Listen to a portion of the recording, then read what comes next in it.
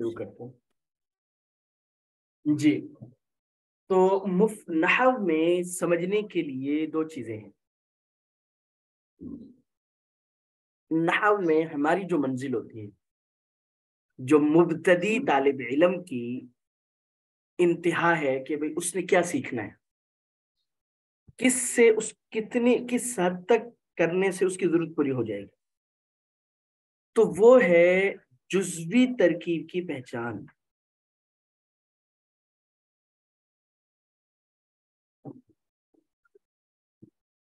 जुजवी तरकीब की पहचान।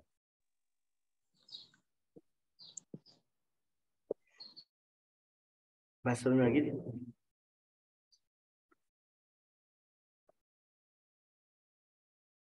जी।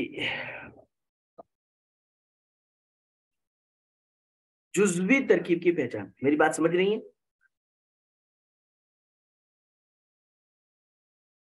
अगर आप तवज्जो से समझेंगे तो इंशाल्लाह बहुत आसानी से समझ में आ जाएगी।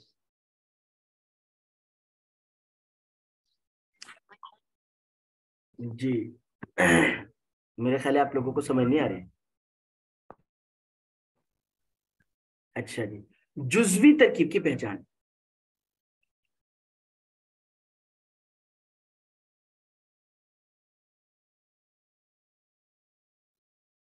जुजवी तरकीब में याद रखिएगा, साथ नोट भी कर सकती हैं आप। दो चीज़ें हैं। मुफरदात और मुरक्कबात। इल्मुन्नहव आज हमारा सर्फ है, सर्फ। वो इल्मुन्नहव के बारे में हमें समझना है। अब अगली हमारे जो दो से तीन असबाक जो होंगे, वो इल्मुन्नहव के हवाले से होंगे।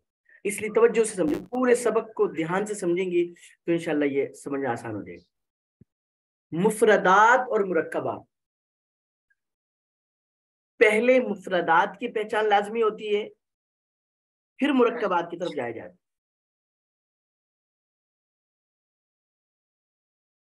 मुफरदात की पहचान हो तो मुरक्कबात में फ़ायदा है। समझ रही बात को जी? अब मैं आपको मिसाल से समझाता हूँ।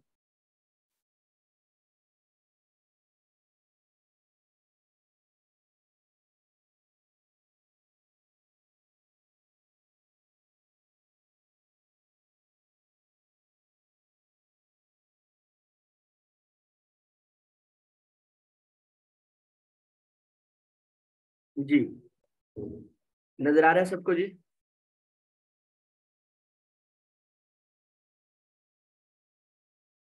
नंबर एक, समझिएगा तवज्जो से। जैसे कुरान पाक से मिसाल ले लेते हैं, अल्लाह अहद। अल्लाह अहद।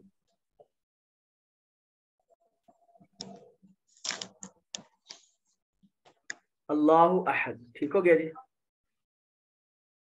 अब देखें कि ये मुरक्कब है, मुफरद नहीं। समझ बात को जी? क्योंकि मुफरद वो होता है जो अकेला हो।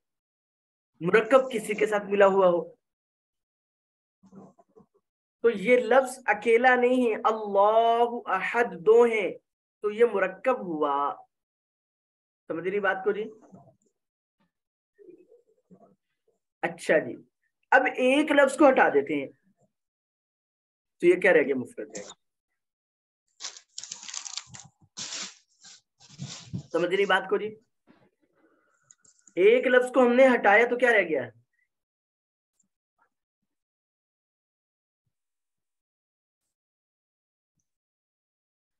मुफरत रह गया मुफरत जी। अच्छा जी। तो दोनों चीज़ों की पहचान ज़रूरी है। दोनों चीज़ों की पहचान ज़रूरी है, मुफरादात की भी, मुरक्कबात की भी।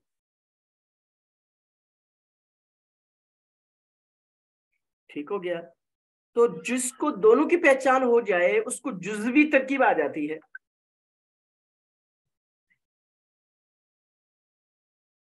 बात समझ में आ रही है जी?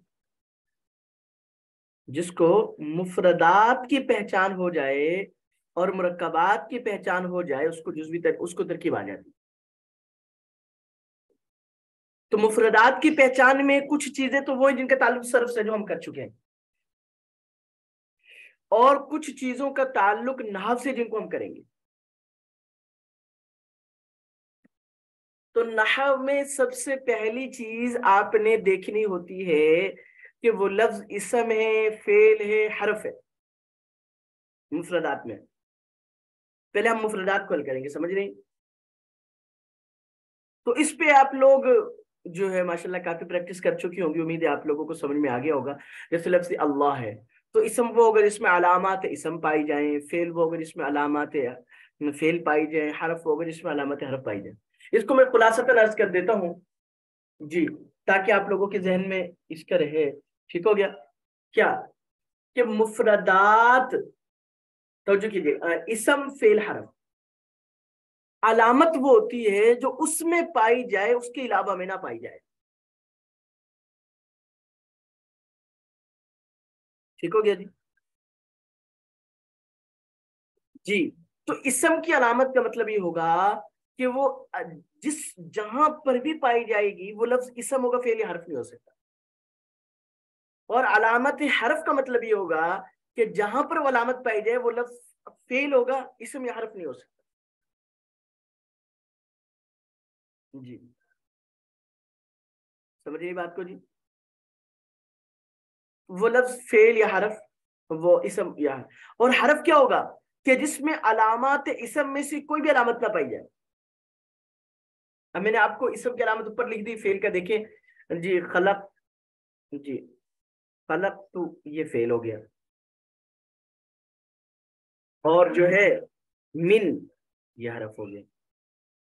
क्योंकि इसमें न इसम की अलामत पाई जा रही, न फेल की अलामत पाई जा रही।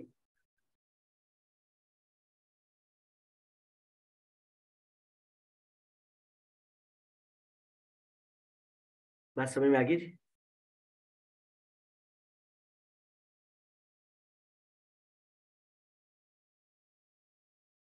तो ये चीज़ पहली चीज़, सबसे पहली चीज़ लफ्ज में ये देखें, क्योंकि इससे आगे राहें जुदा होंगी। इसम है तो उसमें और चीज़ें देखनी होंगी, फेल है तो उसमें और चीज़ें देखनी होंगी, हरफ है तो उसमें और चीज़ें देखनी होंगी। तो बुनियादी चीज़ ये है कि भाई हमें अलामत इसम, अलामत फेल, अलामत हरफ का पता चल जाए। हमें आपके मुनहफ से अलामत इसम वगैरह एक दफ़ा चले। नज़र से गुजरवा देता हूँ। जी, सफ़ा नंबर है अलामत इसम का तेरह जी, नंबर एक अलिफ्लाम हो, नंबर दो हरफ जर उसके शुरू में हो, नंबर तीन तनवीन हो। ये आसान आसान अलामतें हैं। मुस्ंद इले मुजाफ हो, इसका ताल्लुक मरकबात से है। मुसगर हो, यानी दरमियान में या हो, कुरैश रुजई मनसूब हो, आखिर में या मुशद हो, ठीक है? तस्निया हो, जमा हो, मौसूफ हो, इसका ताल्लुक भी मरकबात से है। तय मुताबिक उसके साथ गोलता आखिर में हो। अभी अलामत इसम है, जिस लफ्ज में ये पाई जाएँगे, वो लफ्ज इसम होगा, फेल हरफ नहीं हो सकता। समझ नहीं बात को जी? अच्छा जी, अलामत फेल में आ जाए कद, हरफ कद, याद रखे जहन में रखे सीन, यानी हरूफ असली से हटकर अगर शुरू में सीन आ रहा है, अलामत मुजारे से पहले तो वो सऊफा वो, हरफ जजम चार है, इन लम, लम्मा, लाम, अमर। जी, जमीर मुतसिल हो मुतसिल जमीर कौन सी होती है? कि जो फेले माजी में पाई जाए। जरबता तुमा तुम थी, तुमा तुन्ना। ठीक है? जमीर मरफू मुतसिल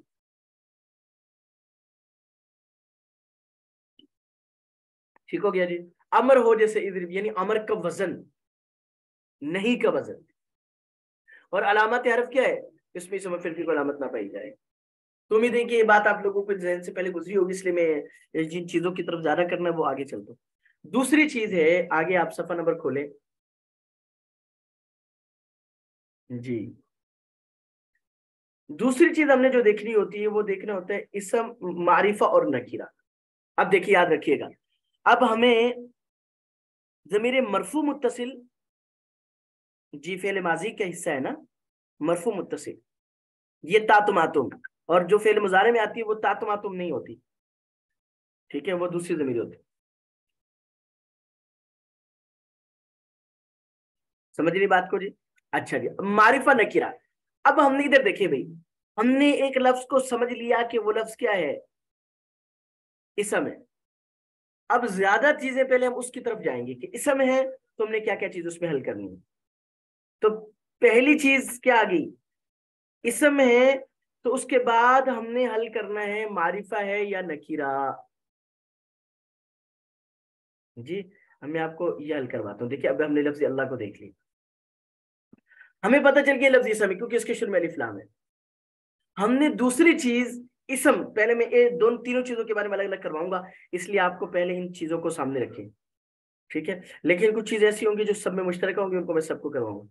तो भाई, अलामत इसम में से हमें पता चल गया लफ्ज इसम आगे, मारिफा नकीरा में आगे। तो मारिफा नकीरा की किताब देखें। मारिफा नकीरा में से क्या है? मारिफा के सात किस्में हैं। ठीक है?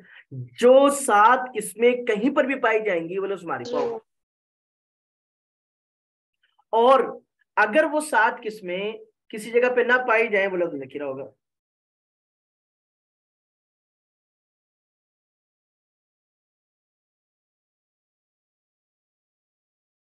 समझ रही बात को जी। वो लफ्ज क्या होगा जी नकीरा होगा?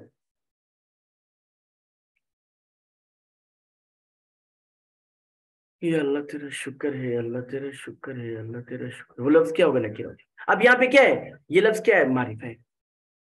ठीक हो गया? तो इसी तरह लफ्ज अल्लाह क्या मारिफा क्यों मारिफा ये मुआरफ बिल्ला में, देखिए, मारिफा की किस्मों में से क्या है? जमीर का होना। ठीक है? आलम, यानी किसी चीज़ का नाम होना। इसमें इशारा का होना, इसमें मौसूल का होना। जी मारफ बिल्लाम मार यानी जिस इसम पर अलिफ्लाम हो तो ये क्या मारफ बिल्लाम? अलम भी है, दोनों चीज़ें हो सकती है अलिफ्लाम भी है और आलम भी है। तो अलम इसको सामने ज़्यादा रख ले कि ये नाम है यानी अल्लाह ताला का जाती नाम। है समझ रही बात को जी? और मुजाफ, जो इन पाँचों किस्मों में से किसी की तरफ़ यानी उसके बाद कोई लफ्ज आ रहा हो इसको जरा समझ लीजिए मैं जरा समझा देता हूँ। वैसे इसका ताल्लुक मरकबात से तो मरकबात में इंशाल्लाह मैं कोशिश करता हूँ फिर उसमें वहीं पे इसको याद रखिएगा मुजाफ की तरतीब मारिफा बनिदा यानी किसी लफ्ज में हरूफ निदा शुरू में आ जाए तो ये इस बात की अलामत होगी कि वो मारिफा है। तो जो है जी सबकी? नहीं खिलाना अभी। जी। लफ्ज के शुरू में अगर कोई लफ्ज आ जाए यानी हरूफ निदा में से कोई हरफ आ जाए तो वो लफ्ज क्या होगा? मारिफा। क्यों? ये निशानी उसकी। तो याद रखिएगा कि अलामत, यानी मारिफा की सात किस्मों में से कोई भी किस्म पाई जाए, वो मारिफा हो और नकीरा क्या होगा? उसको बिल्कुल सादा पहचान है कि भाई जो इन सात किस्मों में से कोई चीज़ इसमें ना पाई जाए। मसलन, मिसाल के तौर तो पर आपको लिखकर दिखा देता हूँ। जी, जैसे देखे रजुल हम मिसाल देते हैं आमतौर पे। इमरातुल अब ये क्या है? ये मारिफा की सात किस्में देखने में से कोई किस्म नहीं पाई जाती तो ये नकीरा ठीक हो गया जी। अब मारिफा, नकीरा भी इसम की किस्में हैं? इधर देखिए, मैं अहम नुकता आपको बताने लगा हूँ। उम्मीद है कि आपको बात समझ इसलिए नाहब में इस एतबार से बड़ी खूबसूरत अंदाज में लिखा गया है। देखिए, गौर कीजिए कि शुरू में लिखा है, इसम की बेतबार खसूस के दो किस्में। किसकी है जी?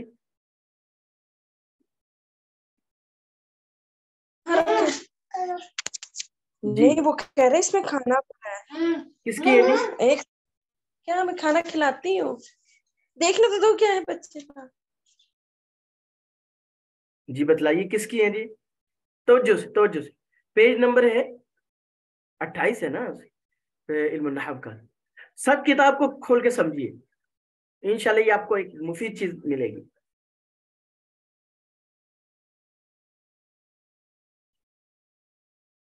किताब को खोलकर लफ्ज पर गौर कीजिए, देखिए।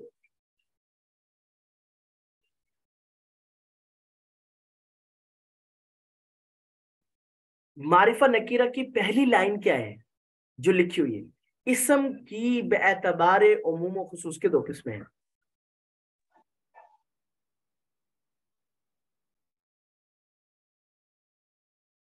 तो ये लाइन बता रही है कि मारिफा नकीरा हमने इसम में देखना है फेली हरफ में नहीं।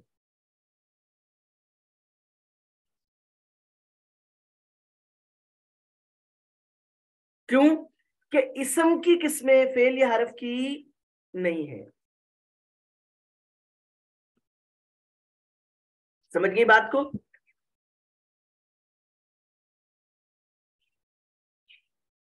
जी। तो अगर आप इस बात को जहन में बिठा लेती हैं तो इंशाल्लाह ताला समझना आसान हो जाता है कि भाई लिखा क्या हुआ है? इसम की है। अब आगे चले मारिफा नकरा में भी गौर करें। अगले सफे पर, मुजक्कर मोनस में। एतबार जिन्स के किसकी दो किस्में हैं? बतलाइए, एक लिखकर बतला दें। एतबार जिन्स के इसम की, शाबाश। तो अब देखें कि ये ये लफ्ज बतला रही है पहली लाइन बतला रही है कि मुजक्कर और मुन्नस होने का ताल्लुक इसम के साथ होगा फेल अरब के साथ नहीं होगा। समझ रही बात को जी? तो कितनी कितनी अहम चीज़।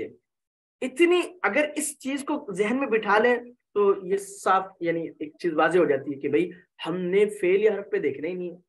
अब अगर मैं आपसे पूछूँ, जी अनामता जी, वो जो है वो मुजक्कर मोना से तो क्या कहेंगी आप?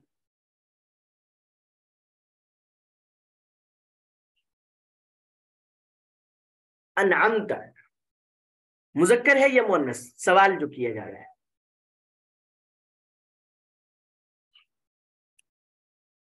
जी, नहीं, सवाल मेरे साथ मुजक्कर है या मुअन्नस अनामता। जी, मुजक्कर मोनस इसम की किस्में और ये फेल है।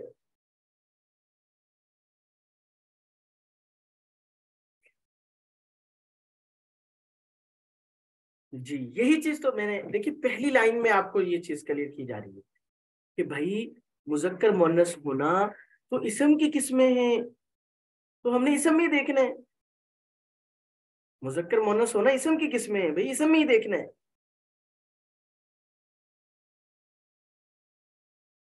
समझ रही बात को जी?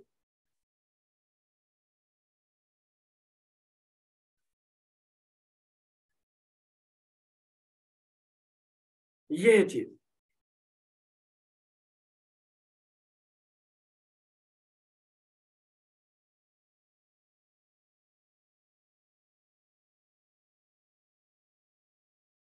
समझ रही बात को जी? आगे चलेंगे। अब मुजक्कर मोनस क्या है? मुजक्कर की अलामत क्या है? यही चीज़, यही मिक्स करना तो खत्म करना नहीं यही चीज़ तो मैं समझाना चाह रहा हूँ। तब जो क्यों दिलाई जा रही है कि भाई इस बात को जहन में रखें कि भाई ये किसमें किसकी है? बाज़ क्या होता है? इंसान उस रास्ते की तरफ़ जाने ही नहीं होता बगैर वजह के। जैसे मूसा सलाम गए थे, थक गए थे ना? क्योंकि जिस रास्ते पे जाना था उससे आगे चले गए। जी। इसलिए इस बात को ध्यान में रखिए। अच्छा मुजक्कर की अलामत तीन मोनस की तीन अलामतें हैं। गोलता हो, अलिफ मकसूरा हो, अलिफ ममदूदा हो। ठीक है? ये तीन अलामतें किसकी हैं? मोनस की। जिसमें ये तीन अलामतें ना हो, वो मुजक्कर है, बस। ये मुफरदात के अतबार से आपको समझा दिया। ये नहीं मुजक्कर मोनस लेकिन पहली बात जो है, वो जहन में बिठाइए कि मुजक्कर मोनस हमने इसम में देखना है फेल या हरफ में नहीं।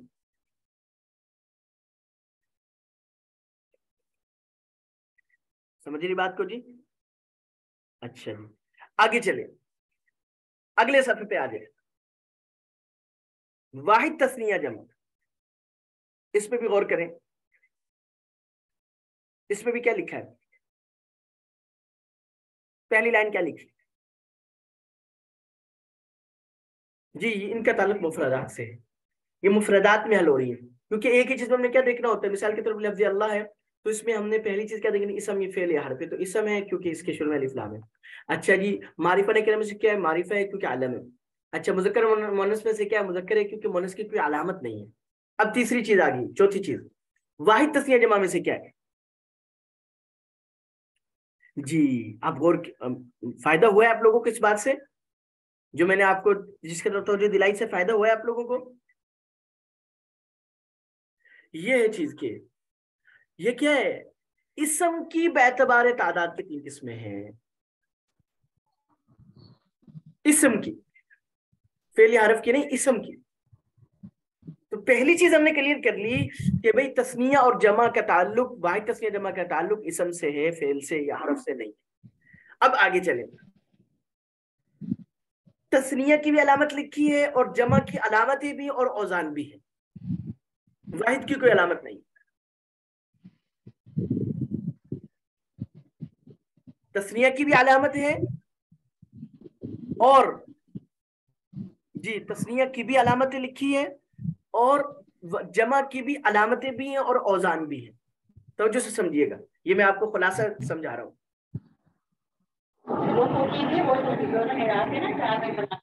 जी। मैं जाऊँगी अभी बाज़ार। बात को जी। अब अब मैं मैं लिखकर आप लोगों को समझाता हूँ, इंशाल्लाह। देखिए, अल्फाज पे गौर करें। तस्निया की अलामत क्या बतलाई? कि अलिफ माकबल मफतून मकसूर हो, जैसे रजुलानी। ये तस्निया की अलामत है।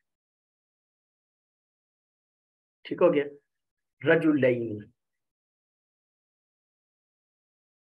ये तस्निया की अलामत है।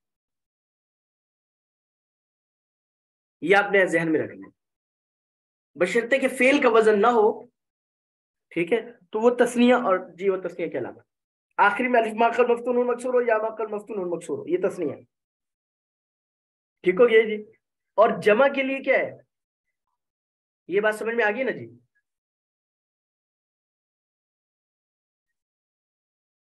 और जमा।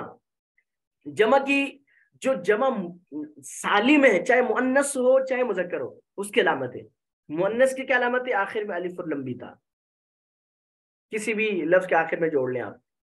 और मुजक्कर की क्या अलामत है? वाओ से पहले जम्मा, नून मफतून या से या से पहले कसरा, नून मफतून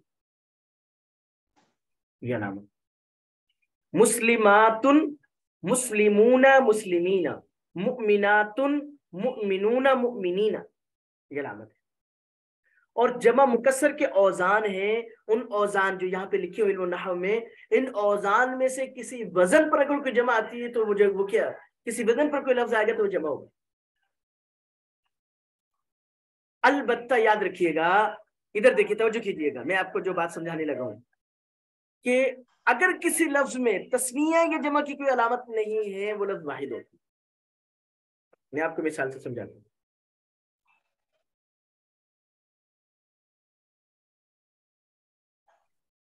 मिसाल के तौर पर, जैसे देखें, जी, वाहिद वाहिद के लफ्ज को देखें।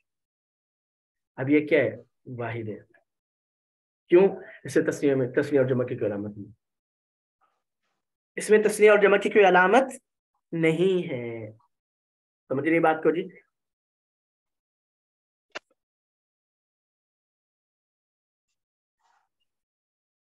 इसमें तस्निया और जमा की कोई अलामत यहाँ तक बात समझ में आ गई? बुक का सफ़ा नंबर है जी, तीस है।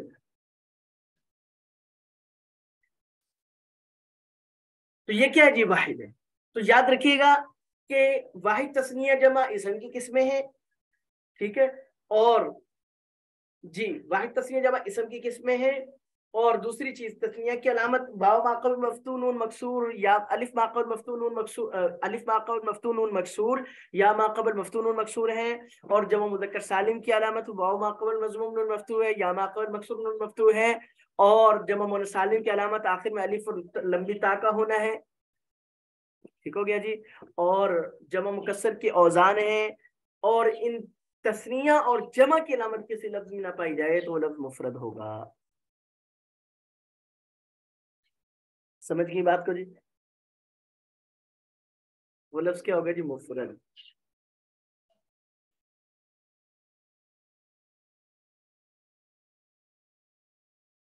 तस्नी और जमा की अलामत किस लफ्ज में ना पाई जाए तो क्या होगा जी? मुफरद।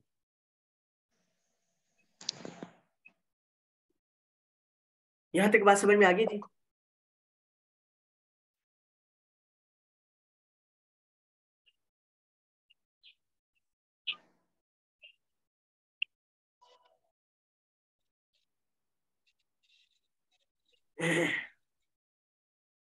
जी, यहाँ तक बात समझ में अब आगे जो है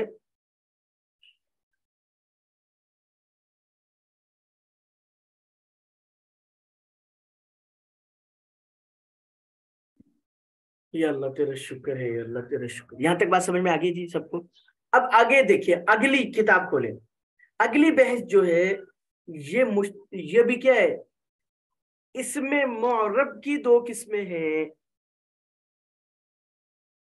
मुनसरफ मुनसरफ। किसकी दो किस्में हैं? इसमें मौरब की। ठीक हो गया जी? ये ये इंशाल्लाह मैं कल आपको तफसील से समझाऊँगा। लेकिन चूँकि यहाँ पे मौरब का लफ्ज आया है तो हमने एक बहस बीच में, शुरू में जो छोड़ी है, उसकी तरफ़ हम आते हैं सफ़ा नंबर सोलह पर। मबनी मौरब और मबनी। मौरब और मबनी। अच्छा अब इस पे गौर कीजिएगा। इस बहस में पहली लाइन क्या लिखी है? मौरब और मबनी के सफ़र नंबर पंद्रह पर। आखिरी हर्फ की तब्दीली के अतबार से कलमे की दो किस्म लिख कर बताइए। जी आखिरी हरफ की तब्दीली के एतबार से कलीमा की दो किस्में हैं। तो क्या बतला दिया? क्या बतला दिया? कि ये मौरब और मबनी का ताल्लुक तीनों किस्मों के साथ है। इसम के साथ भी, फेल के साथ भी, हर्फ के साथ भी।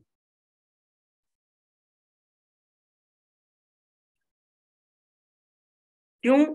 कलिमा तीनों पर बोला जाता है। कलिमा क्या होता है? मुफरत को भी कहते हैं, इसम को भी कहते हैं कलिमा इसम को भी कहते हैं, फेल को भी कहते हैं, हरफ को। क्यों? कलिमा की तीन किस्में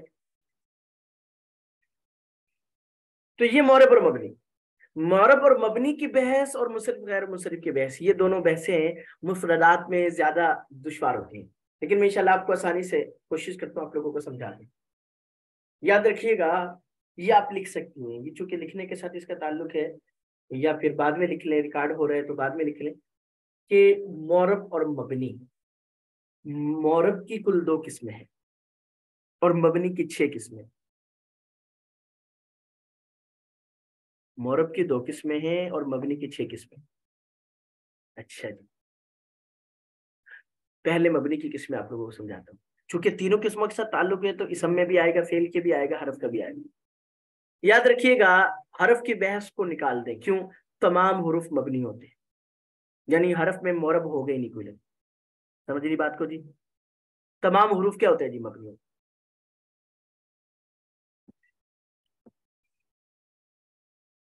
तमाम हरूफ क्या होते हैं जी? मबनी।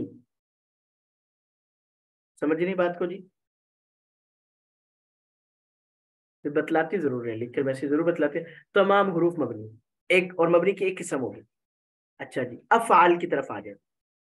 फेले माजी मबनी है, फेले अमर मबनी है। और फेले मुजारे के दो सीगे, जमा मुन्नस गाइब और जमा मुन्नस हाजिर, ये मबनी ठीक हो गया जी। और अगर फेले मुजारे के साथ ताकीद के नून लग जाए फिर चौदह के चौदह सीटें मबनी हो जाते हैं, जैसे लयद्रिबन लयद्रिबान लयद्रिबन ये सब के सब मबनी दोबारा बतला देता हूँ। फेल में, फेल माजी मबनी है, फेल अमर मबनी है, फेल मुजारे के जमा मुन्नस गाइब और हाजिर के दोनों सीगे मबनी है।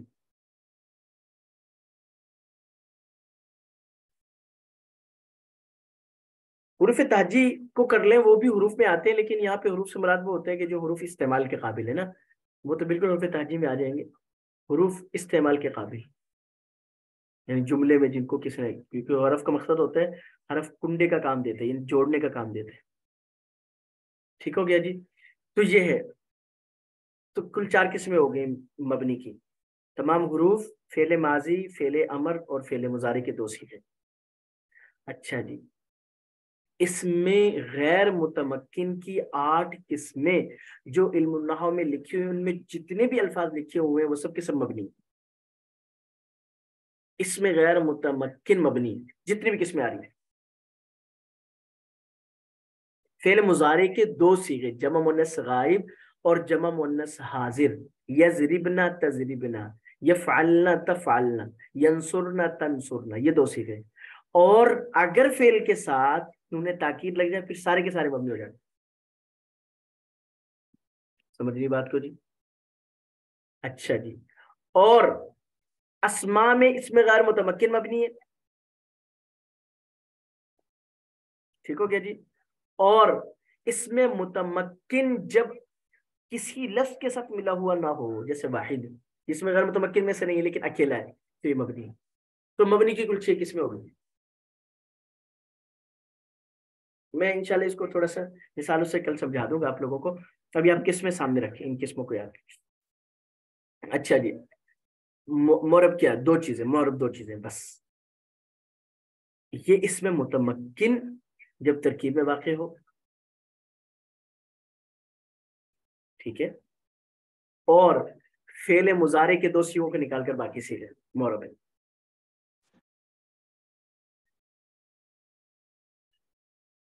ठीक है? अब मैं इसमें मुतमकिन जो अहम चीज़ें मैं आपको समझाता हूँ। अभी दो तीन मिनट है, मैं आपको समझा देता हूँ। इसमें मुतमकिन और गैर मुतमकिन का फ़र्क समझिएगा। ये थोड़ी सी मुश्किल पेश आती है समझने में। जी। इसमें मुतमकिन अब ये जो लफ्ज है ना, ये जो लफ्ज, याद रखिएगा कि ये लफ्ज इसमें मुतमकिन है। कैसे पता चल रहा है? इधर देखिए भाई। इसमें मुतमकिन इसमें गैर मुतमकिन की आठ किस्मों के अलावा जितने भी असमा हैं, वो सब के सब असमा मुतमकिन है। इसमें गैर मुतमकिन की आठ किस्में आप लोगों ने पढ़ ली है। इल्म में आप देख सकती हैं। उन आठ किस्मों के अलावा जितने भी असमा है, वो सब के सब इसमें मुतमकिन है। समझिए बात को?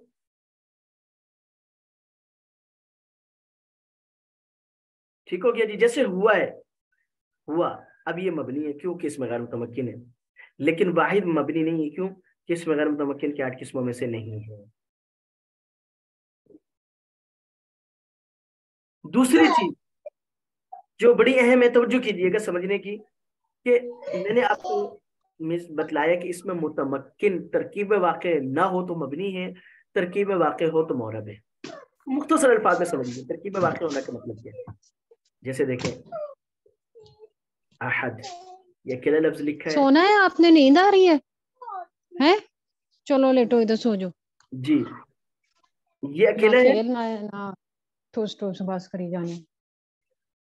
ठीक हो गया जी? ये अकेला है ना जी?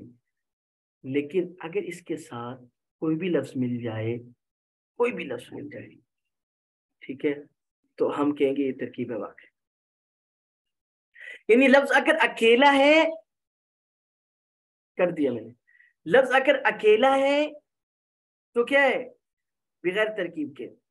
किसी भी हरफ के साथ मिला हुआ है, ठीक है? जैसे मैंने ये मिला दिया है तो ये तरकीब वाक़ होनी तो इसमें मुतमक्किन अगर तरकीब में वाक़ ना हो तो मबनी, अगर तरकीब में वाक़ हो तो मौरब।